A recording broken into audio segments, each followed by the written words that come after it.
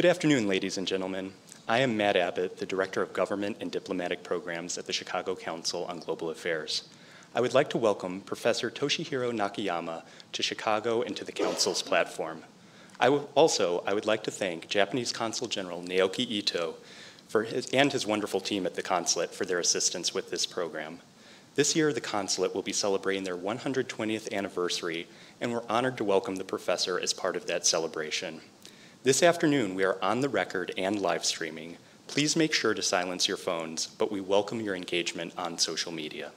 Also, we will take audience questions via microphone in the room, but we also welcome the submission of questions by our live stream audience, which can be done by typing chi.cnf.io into your web browser. For nearly a century, the Chicago Council on Global Affairs has provided an independent, nonpartisan platform for a variety of different perspectives to promote deeper global understanding and active U.S. engagement in the world. Views expressed by individuals we host are their own and do not represent institutional positions or views of the Council. As well, the Council is a membership organization. If you are a member, we thank you for your support, which helps us to continue to produce affordable, accessible, and independent content. Turning back to today, we are pleased to welcome Professor Nakayama as we resume our programming for a new season. Toshihiro Nakayama is Professor of American Politics and Foreign Policy at Keio University. He is also an adjunct fellow at the Japan Institute of International Affairs. He previously served as a special correspondent for the Washington Post and the Far Eastern Bureau and a special assistant at the Permanent Mission of Japan to the United Nations in New York. After his remarks, the professor will be joined in conversation by Carl Friedhoff. Carl is fellow in public opinion and foreign policy at the Council. He was previously based in Seoul, where he worked in the Public Opinion Studies program at the Asan Institute for Policy Studies. He completed his undergraduate work at Wittenberg University and his graduate work at Seoul National University. Now please join me in welcoming Professor Toshihiro Nakayama.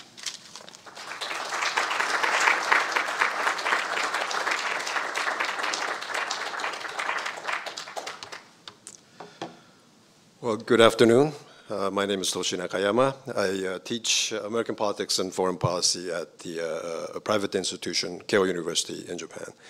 And it, uh, it has become a difficult sort of topic uh, these days, uh, you know, convincing my students. Because I guess many of us are, I was totally wrong about the election, so I lost credibility among my students as, as, a specialist on American politics and foreign policy. It, it's an honor to be here. In fact, I was a, a, colleague with Ambassador Daalder a couple of years back when I was at, the, at a Brookings Institution uh, as a visiting fellow. I don't know whether you remember me or not, but uh, uh, thank you, thank you, Ambassador. Uh, and uh, in fact, I have visited uh, the council when it was still Chicago Council on, on Foreign Affairs. Th this was when the, the, institute that, that I belong to, Japan Institute of International Affairs, was trying to sort of do the same kind of polling studies that, that uh, this council has been producing since the, uh, the 70s.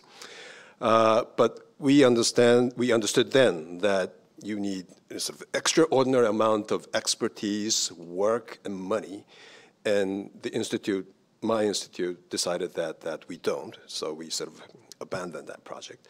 But I, I really sort of admire and uh, uh, sort of use uh, the, the polling studies, and it, it has become a sort of a public good among the uh, sort of scholars whose, whose focus is on uh, you know, international relations and foreign policy.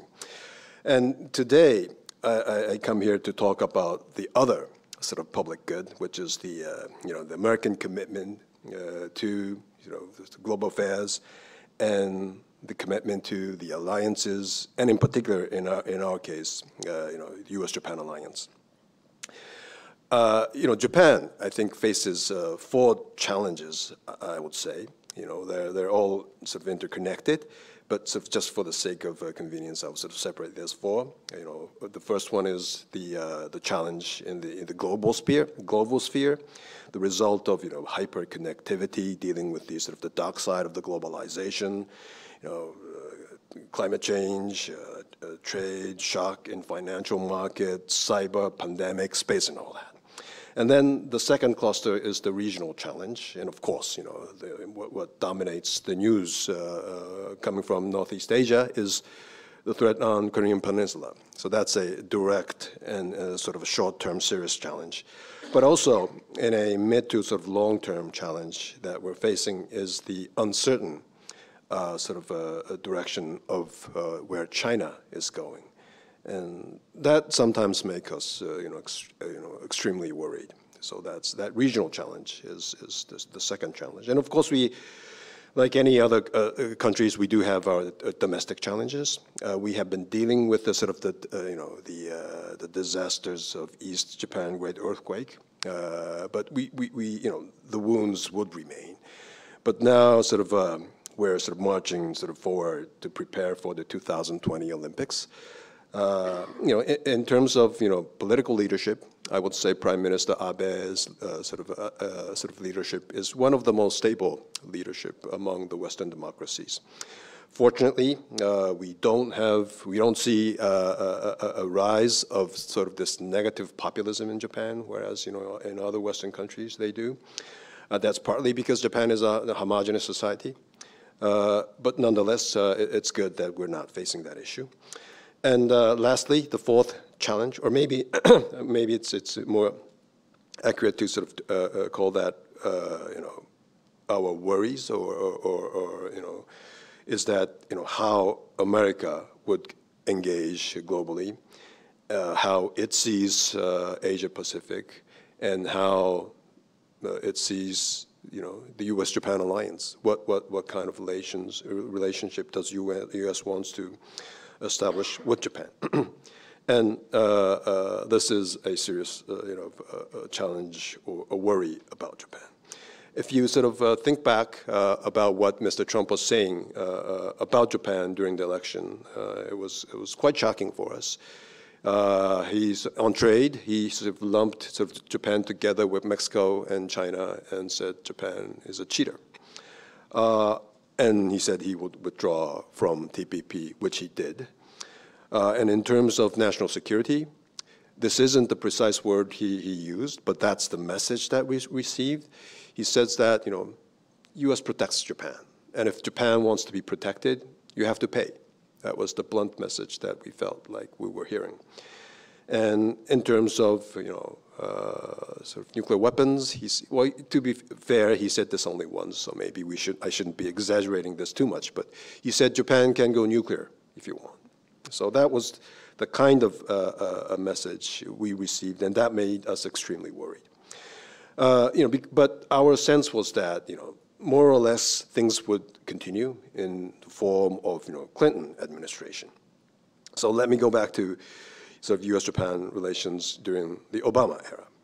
Uh, you know, Obama administration, and I have to be careful because I understand he's he's uh, Chicago's favorite son, but he's not known to be achieving too much sort of uh, uh, on sort of the strategic front. Rather, he's often uh, been criticized for that. But in terms of U.S.-Japan relations, I think uh, it has uh, uh, made a major sort of forward leap under the leadership of Prime Minister Abe and President Obama at a symbolic level and at a policy level as well. Symbolic level, of course, you know, his, his visit to Hiroshima and Prime Minister's visit to uh, uh, you know, Pearl Harbor, that was significant. In terms of policy, there were many policy developments that Japan sort of undertook, you know, establishing the National Security Council, drafting the national security strategy, uh, dealing with self, uh, uh collective self-defense and all that, and they were all endorsed by President Obama, and that was really good. Uh, but at the same time, there was this a, a bit of a worry about, and, and no doubt, he, I would say he is the most intellectually sophisticated president that you had in a long time. His world, his view of the world is very sophisticated, but at the same time, at least many on the Japanese uh, sort of uh, side, although what he did on the alliance was, was pitch perfect, there was the sense that he was, you know, a, detached and a bit aloof. And the actions he took on Syria and Crimea made us worried. Although we totally understand the situation in Syria and situation in Crimea, and the, the situation that we're facing in North, Northeast Asia is, is totally different. That made us a bit uh, nervous. So if you compare President Obama and uh, Senator Clinton or, or, or, Secretary Clinton, uh, Secretary Clinton represented more of a traditional sort of American power type of politician. At least that was our sense. So she had just the right mix of this hawkishness and belief in sort of, you know, good old sort of traditional diplomacy. And of course, the fact that she was the architect of the pivot and the rebalance uh, helped her image a lot. So what we thought was that, you know, the U.S.-Japan uh, relations, uh, uh the alliance, uh, would be even better under uh, the Clinton-Abe leadership. but of course, you know, that didn't happen, and we had we have to sort of we had to deal with you know how we would deal with uh, this relations uh, uh under Mr. Trump. Uh, uh, but we never thought you know he would win. So back in September of 2016, when Prime Minister Abe visited New York to to attend the General Assembly at the United Nations. Uh, he met candidate Hillary without uh, meeting uh, candidate Trump. Uh, and that seemed totally natural. So when the election results came in, we were quite shocked, and we were faced with the challenge that maybe this relations and this alliance might be facing a fundamental challenge, and, and the anxiety was, was quite huge. And that's what prompted Prime Minister Abe to go to Trump Tower in uh, mid-November. Uh, and this was, a bit unusual to, to go and see President-elect. But uh, you know, that shows how worried we were. And that meeting sort of seemed somehow sort of worked out. And after that, he stopped sort of tweeting about Japan. I think he tweeted uh, uh, during his election and uh, inauguration. I think he uh, tweeted once or twice about Toyota, but that was about it. But the anxiety remained. So uh, right after the inauguration, if you ask the Japanese people, would uh, sort of U.S.-Japan relations worsen uh, under uh, President Trump? 55% answered yes. And if you ask the Japanese people then, would the America first sort of thinking uh, have a negative effect on sort of international affairs? 84% said uh, yes.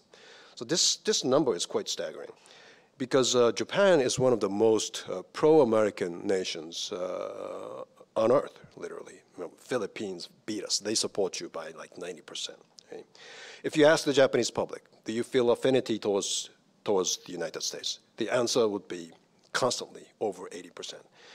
And a constant 80% is not what you usually get in a democracy. Okay?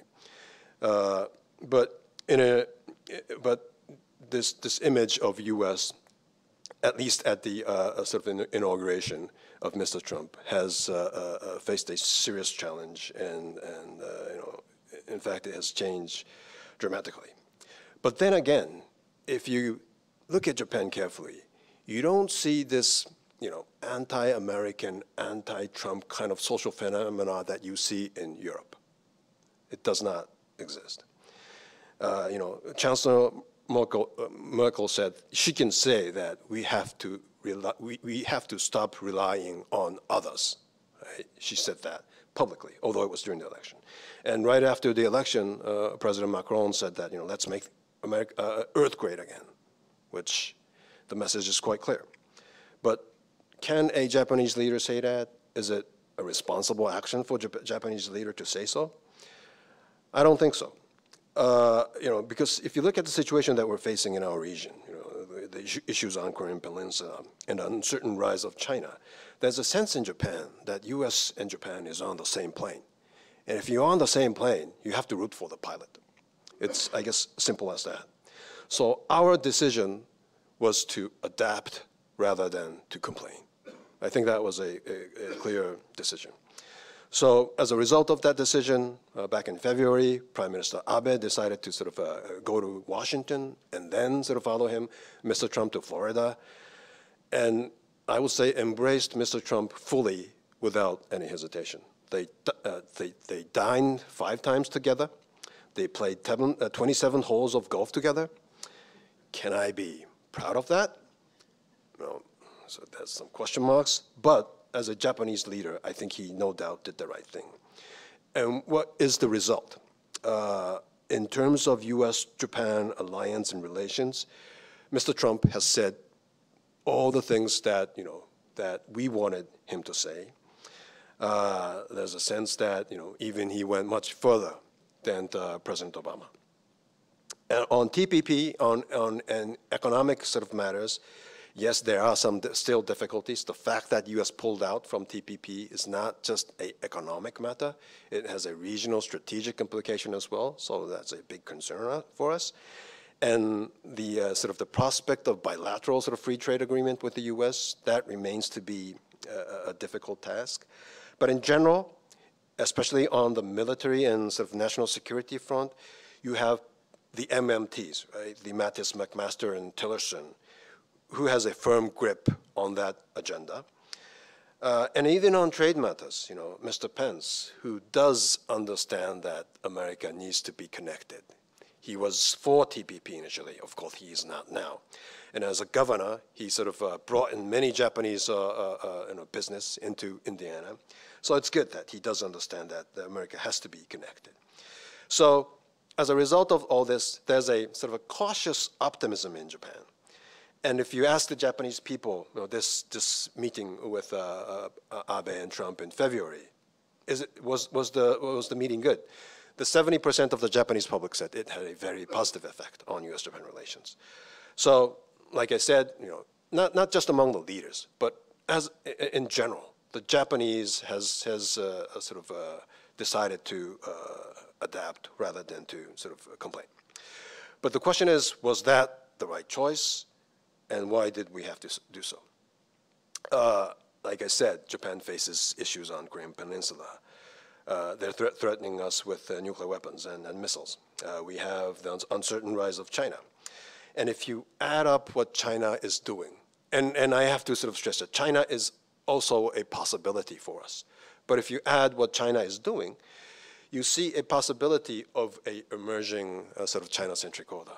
And our firm conviction is that that kind of leader, uh, uh, order is not good for our region. Uh, you know, the, the, the, at the root of, uh, of our success and the region's success, I think it was a liberal international order which was upheld by the American sort of uh, presence and sort of many other sort of uh, you know institutions that supported that. So, you know, it, it, you know, there's a firm conviction on our side that that you know we would sort of complicate China's hegemonic ambitions in defense of liberal international order. But the question is, how do we do that? And let me engage in some intellectual exercise and try out some possible options for Japan. Now, there's a talk about Japan becoming a normal nation, becoming a full-blown military power, maybe even go nuclear. But is that really possible? I don't think it's not. There's no support in Japan. We don't have the money to do so and even the region does not sort of welcome that. Yes, Japan is going to a direction where we would sort of expand our role in these uh, military affairs, but that's far from Japan becoming a full-blown military nation. So that's that's not a viable option to sort of uh, uh, you know complicate China's hegemonic rise. Then what about sort of fully embracing China as we embrace the United States, uh, or sort of uh, uh, test out the pacifism that we, we, we have in our constitution. But Japan is, is, you know, for Japan to totally disarm and, and sort of uh, you know, praise pacifism is a very irresponsible act. It would create a security vacuum and become a source of conflict. So pacifism is not a real, realistic option either. Do we have a regional organization that we can trust? We don't have any. We have many talk shop. They are all important, but it's far from becoming a sort of a viable security organization. Can we rely on global institutions like the UN? Yes, of course the UN is important. But on critical issues that is related to Northeast Asia, you see who's in the uh, Security Council uh, from Northeast Asia with a veto power. It's China. So it doesn't quite work out for us. Uh, is there any other alliance options? Yes, we are trying to sort of beef up our security relations with Australia, India. Korea is always a difficult partner, but we're trying to sort of improve that.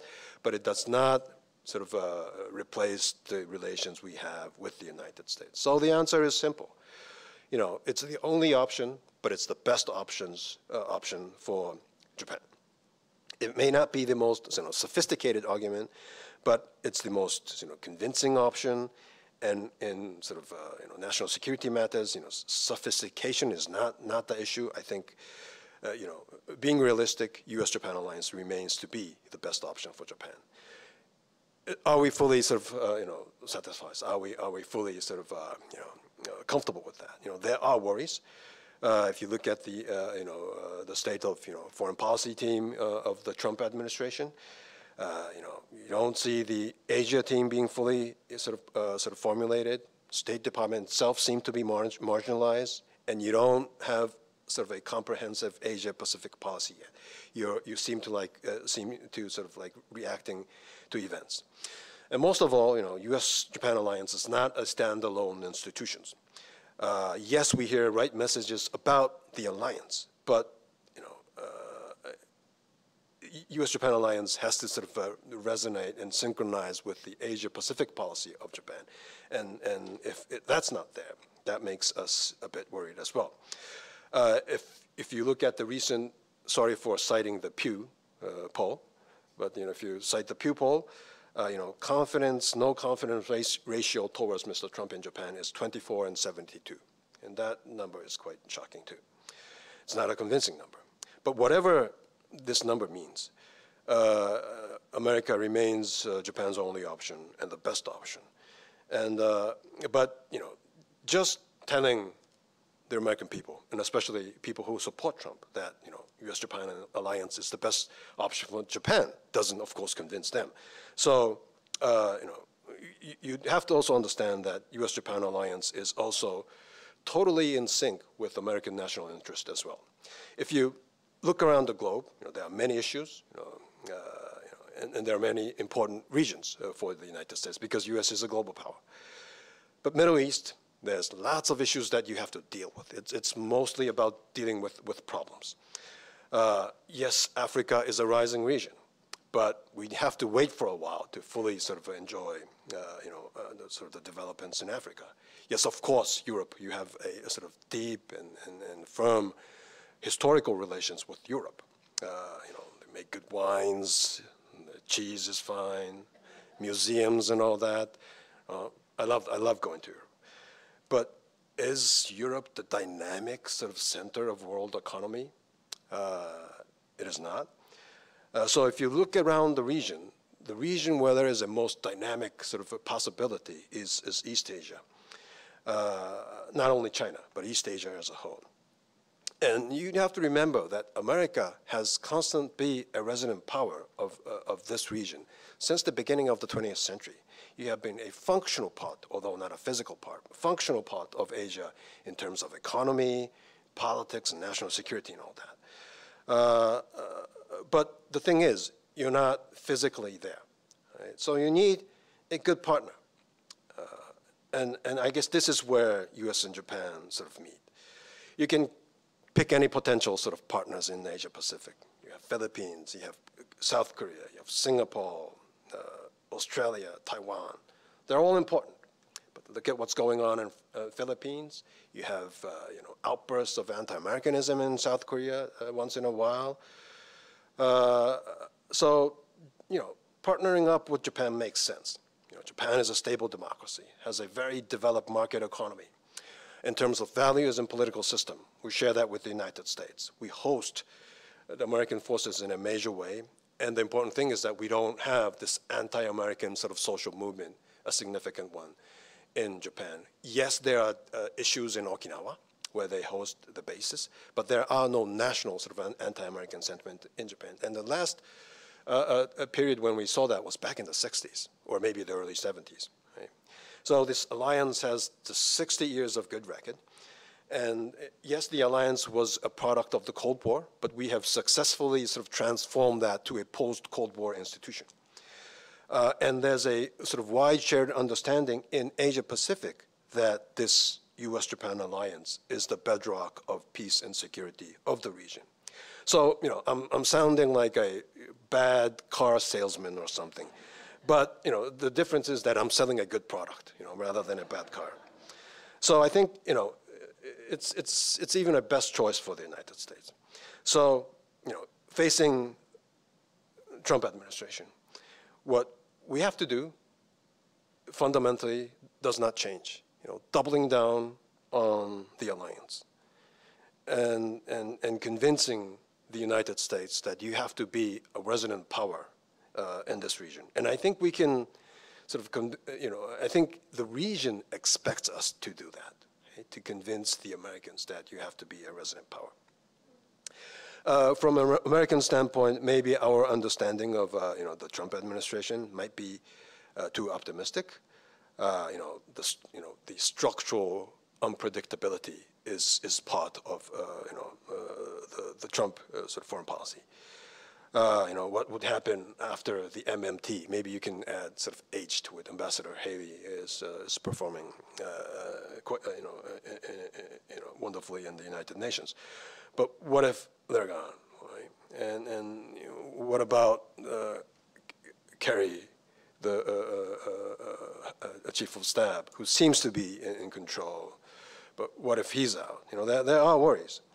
But our response is that, you know, it's the president you chose. We can't do anything about it. So, and in, in view of the importance of the U.S.-Japan alliance, whoever uh, the, the president is, our decision, decision was to embrace him fully. So, you know, as a conclusion, you know, even in the Trump era, the fundamentals of Japan does not change. Uh, focus on or even double down on what we have been doing so far. And I guess this is the real, realism for Japan in the Trump era. So I thank you for that.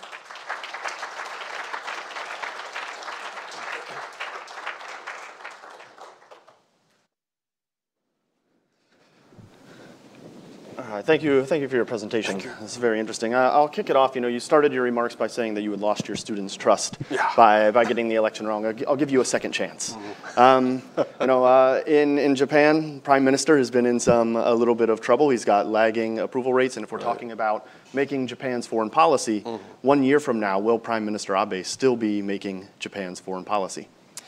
Well, he has been Prime Minister since uh, 2000 well, the, the end of 2012. Mm-hmm. So that's a long time for a Japanese prime minister. Because after Prime Minister Koizumi, we had like an annual change of leadership. And you know, uh, one um, uh, American friend jokingly said that Japan is the most safe failed nation on earth. Right? if you compare to that, you know, Prime Minister Abe's of leadership has been quite remarkable. But it's been a long time. And, and I do agree that there's some sense of fatigue towards uh, Prime Minister Abe. And there's a bit of a worry about, you know, uh, you know, where he's going on sort of national security matters and all that. So in a recent Tokyo Metropolitan Council election, the LDP, which is his party, lost in a major way. Mm-hmm. That, that's true. But at the same time, uh, you know, there's a sense in Japan that Japan is in a very dangerous part of the world. Is there a viable leader who the Japanese public can really trust. We have an opposing party, uh, the De Democratic Party. They've uh, recently had a, a, change in leadership, but the trust in uh, uh, uh, Democratic Party is staggeringly low. Right? So if you think about the other options, do you see any sort of challenger in the Liberal Democratic Party? You don't.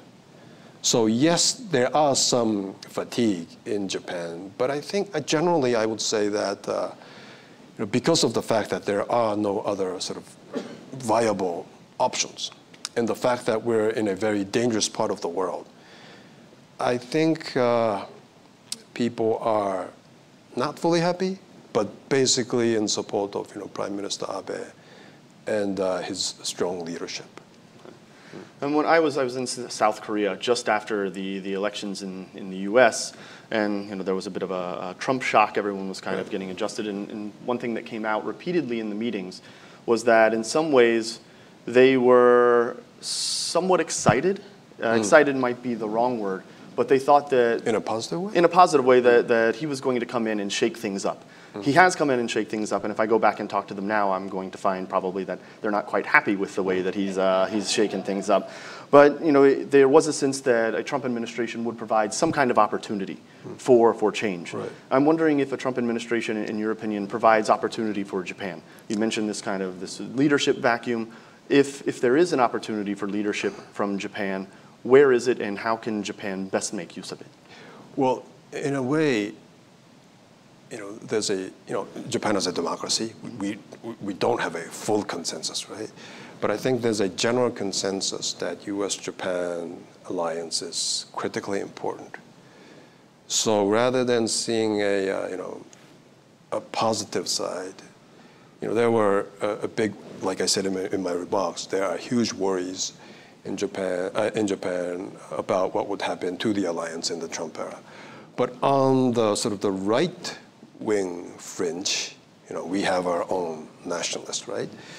And there, uh, for Japan becoming a sort of full-blown military power, and to realize that vision, maybe U.S. pulling back might be a good news. Hasn't, hasn't Prime Minister Abe already started down this road? I know it's not been a huge jump, but it's been an incremental step towards that.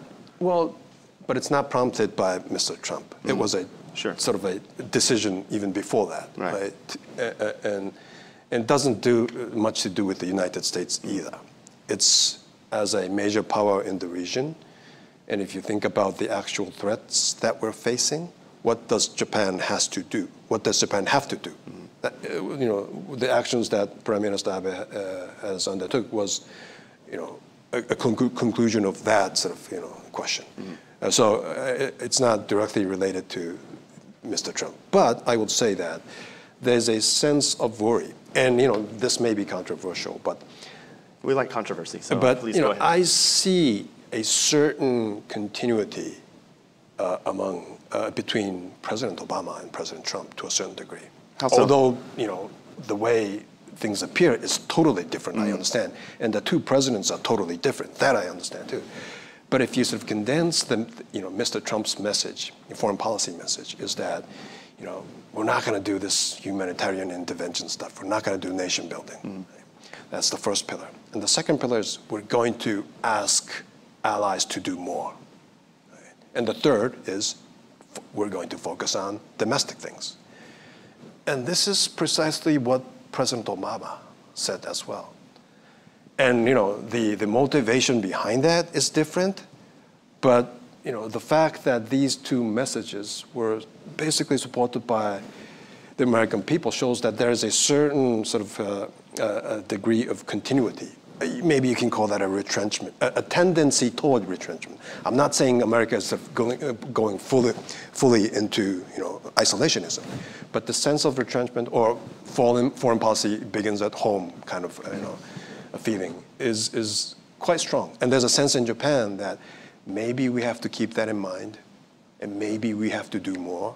And when we're trying to convince the Americans that you have to be a resident power in this region, at least we can say we're doing the maximum within our uh, uh, legal framework. So that is partly the motivation.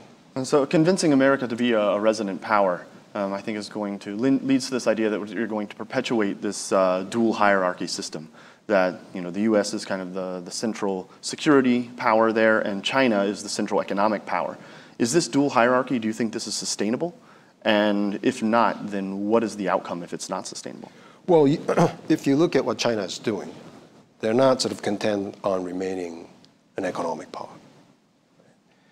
There, uh, we see uh, their sort of hegemonic ambitions in terms of you know territory, in terms of influence, and and I said in my remarks that Japan thinks that China-centric order is not good for the region. But there's other side to it. There's a sense in our region, and especially among the small and you know, mid-sized countries, that you can't do much about China's rise, nor shape China's rise.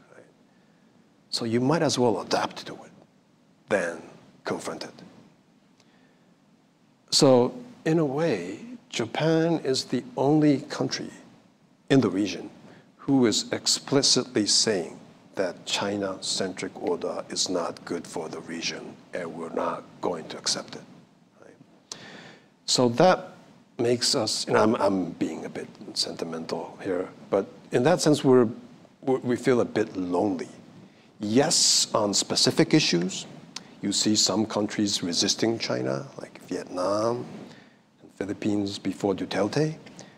But if you see a China-centric order, it might be even logical for a smaller nations to adapt to it and to challenge it.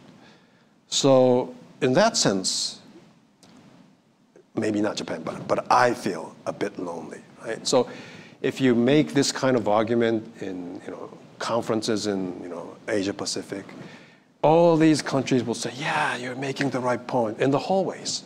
But when we gather in the main conference room, when we, we make that point, they would sort of you know, sit down and stay quiet. So that kind of loneliness we feel. So that's why uh, you know, our relations with, with the United States and the fact that US, US has to be a resident power is a critical component of uh, Japan's foreign policy. And we're going to open it up to the, the audience now. You notice we've left a lot of the bilateral issues still on the table. North Korea has barely been touched. South Korea has barely been touched, so I hope there are, are questions and we'll, we'll queue them up. First, we'll come down here in front. Uh.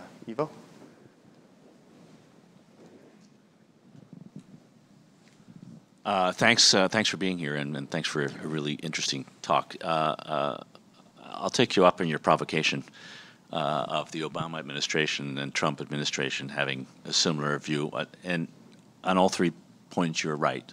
I would also say, in terms of the commit, recommitment to the security alliance, both presidents have been very strong in their in their verbal commitments to that.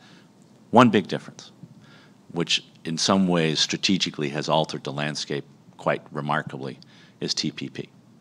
And on the Obama administration's commitment to use TPP as a glue for its own presence, uh, and the decision by the Trump administration to not pursue that uh, from a geostrategic or economic side, how do you recapture that, you know, given that that TPP has fallen away, how do you recapture that element of the glue not only between the United States and, and the countries, uh, the other uh, members of TPP, but Japan as a leader within using TPP as a way to establish a, you know, a different sense of order that was behind it in the beginning. Can I go one by one? Okay. Yeah. Well, thank you, Ambassador, for that uh, great question. Uh, I totally agree. TPP is a major difference. But I, I, I, would also say that from a Japanese uh, point of view, you know, we were a bit late in becoming you know, a player in TPP, but President Obama could have started TPP a bit earlier. So we, we welcome the pivot message, but it was always unclear what it really was.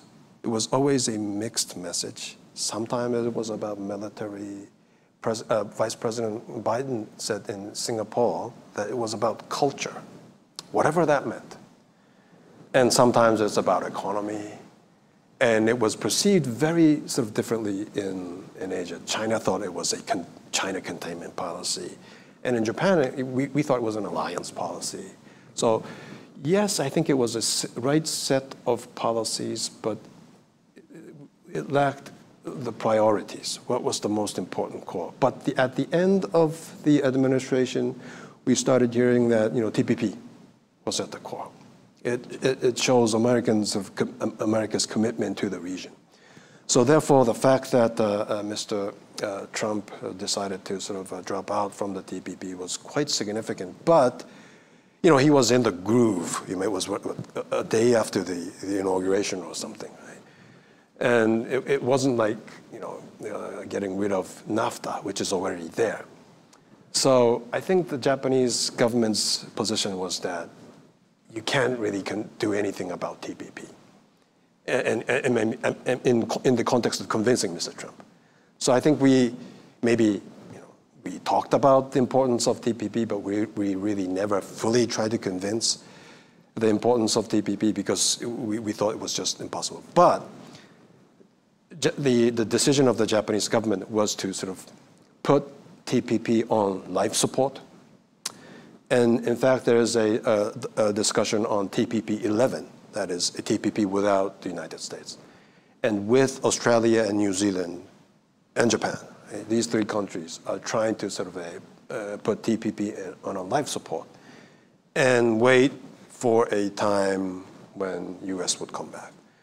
And the reason why we're doing that is because TPP is not just a, you know, a, a, a mega free trade arrangement. It is. But it, it, extends more than that. I think it would sort of be a sort of a, you know, a fundamental sort of layer of liberal international order in Asia Pacific. You know, countries like Japan and United States would share values, trying to sort of establish a high spec trade order which is not just about sort of pure trade, it has implications on labor rights, environment, and all that. And that would sort of put a soft pressure, not contain or in, in any way, soft pressure on China.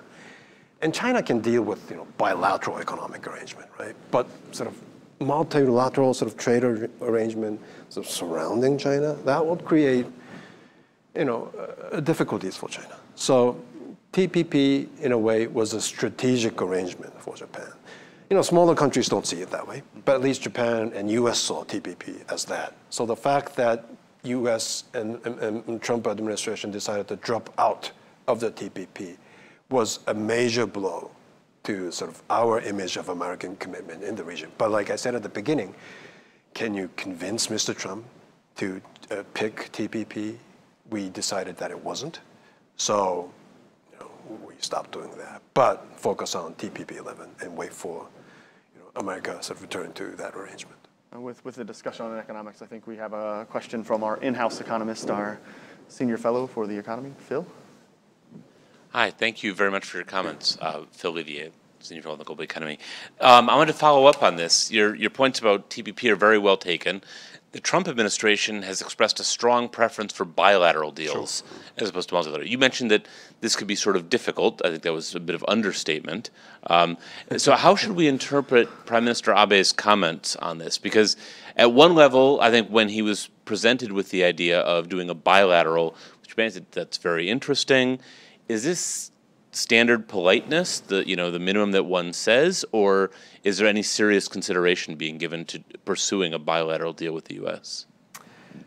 Well, uh, you know, I, I think a, a, government official can answer that more. You know, the Japanese position, I would say. But as you know, I'm not in any way representing the Japanese government, but I would say that they're extremely worried. But here, you know, Japanese bureaucracy is known for delaying tactic? Maybe. But surely, you know, we understand the priorities of the Trump administration. So something would have to start. Right? So we came out with this Pence Aso framework, which is that the bilateral sort of trade agreement would be dealt by these two leaders and try to sort of engage in a rational argument. Not that Mr. Trump is irrational all the time, but uh, uh, so. But this process hasn't really. They met uh, uh, once, I think, but it hasn't sort of fully kicked in, and that may be a good sign for Japan. Uh, uh, but but yes we understand the priority of the Trump administration, and we can't just, just push back and say no. But uh, uh, for Japan, I think TPP makes much more sense because of the strategic significance and the fact that you know multilateral arrangement has a bigger effect as well. Here in the middle. Thanks. Um, you know, even talking about TPP 11 and waiting for something uh, better. One, I'd like to know what exactly people in Japan think they're waiting for, whether it's the next president or this president to change his mind. But uh, that that seems to be praying for the best. Is there any preparation for the worst? Is there is there a point? Is there a threshold where you think an American-led liberal order is not going to come back to the region, and what's the alternative? Is, is Japan thinking of alternatives? Because you spoke forcefully about uh, confronting a China-led region. If No, America I, I said we're not confronting. not or adapting to, to it, uh, complicate uh, yeah, uh, but what would be the anchor for that strategy if um, if it's not America? Well, you know, I don't have a, in a way, I don't have an answer to that because it's not my issue. It's your issue. It's the issue that America would face. It's your choice whether you would support a president or a leader who would be sort of engaged or who would be sort of detached. Uh, but when, but I, I, I, I- firmly believe that there's a certain sort of trend in the United States. And I can understand if you ask an average American, you know, I'm going to South Dakota after this, and try to sort of talk about US Japan alliance and America's commitment to Asia Pacific. It would be very difficult for an sort of ordinary sort of, uh, you know, people in South Dakota to fully support America's full-blown commitment to a full-blown liberal international order. It's quite natural that they want their, you know, your leaders to focus more on domestic matters. So, and, and I see a continuing trend, and not, this is, like I said, this is not just President Trump. I think this has been more or less constant. 9 11 changed that to a certain degree because it was a huge shock. But even before that, you had this kind of you know, lingering sort of retrenchment tendency. So there's a sense in Japan that, you know, yes, U.S.-Japan alliance remains to be the pillar of Japan's uh, security policy, but maybe we have to think beyond. But beyond doesn't mean getting sort of rid of the U.S.-Japan alliance or anything like that. It's, it's, it's the, the discussion that we've had that it's a decision by the, by uh, the Japanese leaders and Japanese public that we have to play a more proactive role in, in sort of uh, national security matters. Uh, and I don't think America is going to sort of become a, you know, a full isolationist power because it just simply doesn't make sense. And it stops make America from being great. Right? So in a way, this may be a learning process that America has to engage in to a certain degree. Maybe a different kind of engagement, because in a way, the international engagement, a global engagement uh, during the Cold War was an anomaly. So maybe we're, in a certain way, returning to a normalcy. But the normalcy you're facing is a very hyper-connected world that American isolationism is simply not the answer. And by the way, there's no support from the American public for uh, American, isolationism. right. as As, well, your as our, show. our surveys show. Right, yeah. Um, yeah, down here.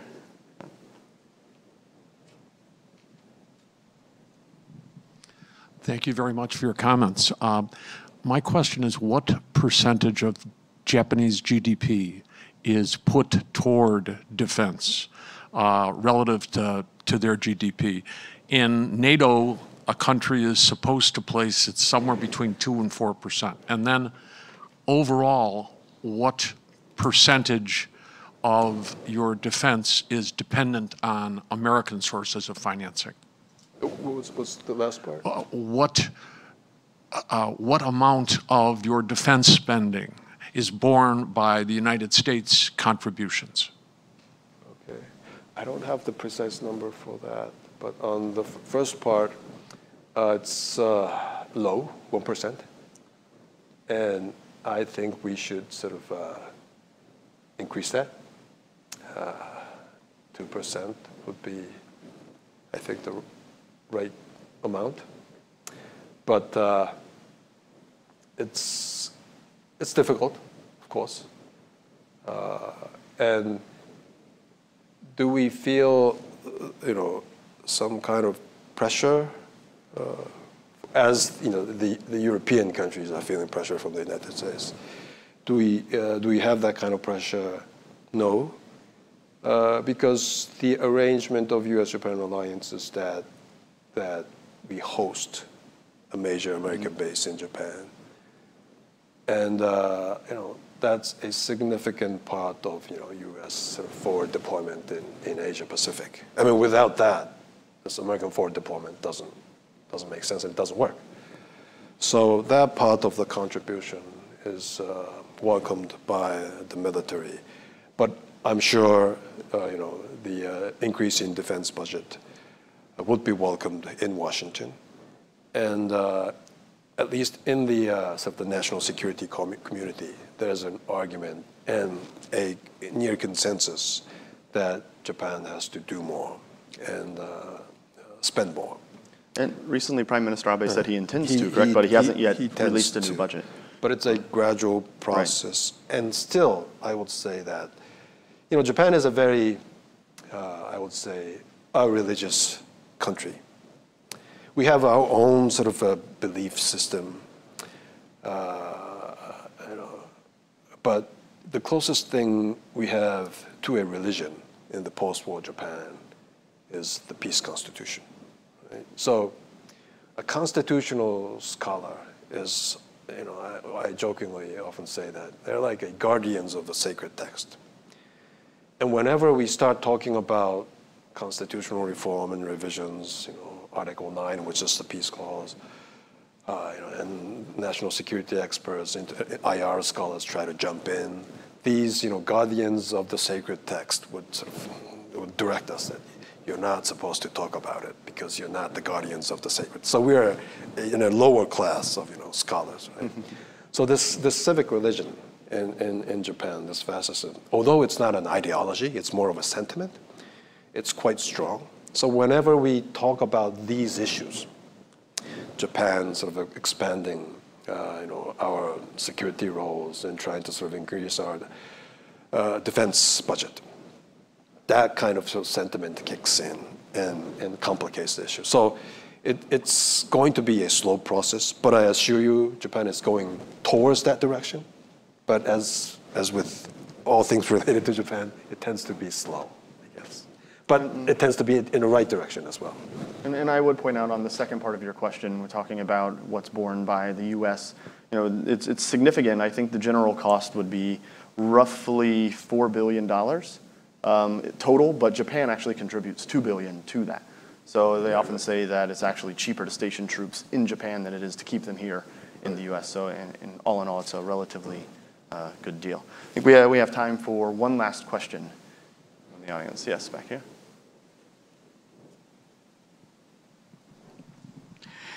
Is freedom of the seas an important issue in the U.S. Japanese uh, alliance? Because China's trying to claim nearby waters as its own territory. Yeah, so free, freedom of the seas is important. Is there, I guess the question is, is there room for cooperation in the South China Sea for the U.S. and Japan? The U.S. is already doing freedom of navigation uh, exercises there. Is that something Japan can cooperate in? And also, would you welcome South Korea's participation in, in those? Well, uh, our sort of uh, general purpose is the same, that rule of law- has to be respected, and the change of status quo uh, by sort of exerting sort of uh, power is not acceptable. But uh, the way we actually sort of contribute in sort of uh, maintaining that kind of order is a bit different, I would say. Uh, we try to sort of uh, beef up the, the sort of the capabilities of countries in that region, in particular Philippines or Vietnam. You know, their you know, Coast Guard sort of capability. So we're very much forward-leaning on that front. And whether we could do, you know, the, the FONOP, the freedom of navigation, together with the U.S., you know, there's been talk about it, uh, uh, but it hasn't been realized. I think it's personally, I think it's okay. Uh, and in fact, you know, UK and other countries in Europe are interested in sort of, you know, being involved. Uh, operating with uh, uh, South Korea, I'm not quite sure whether that kind of discussion is going on. Uh, we tend to focus on Korean Peninsula. We, uh, when we talk about, uh, when we talk with our Korean friends, but, but, but sure, I mean, you know, Korea and Japan is, is both an important and good allies uh, to, uh, to the United States. So it makes sense that, uh, you know, Japan and ROK involved in a regional effort. But unfortunately, uh, first of all, we're pre- preoccupied with Korean Peninsula, but there are some delicate historical issues. You know, you have to hear the Korean perspective as well, but from a Japanese perspective, on the Korean side, uh, that hinders those kind of uh, cooperation, whereas we're willing to do it. So, but you know, in, in dealing sort of everything uh, related to Northeast Asia, yes, we, we, we, we have good relations with uh, U.S. Japan, uh, the United States. The missing link always is our relations with uh, South Korea, and I think we have to work on that. Uh, we will take one last question down in front, the, the woman sitting right in front. In light of the new or ongoing nuclear tests that North Korea has made and their ballistic missiles, uh, what is the sense of the Japanese public, and particularly the younger people, as to what that means to Japan? Well, uh, this is not a new challenge for us. It's been going on. It seems like Japan is only interested in pressuring uh, North Korea. But we tried dialogue, uh, engaging North Korea a couple of times. It didn't work.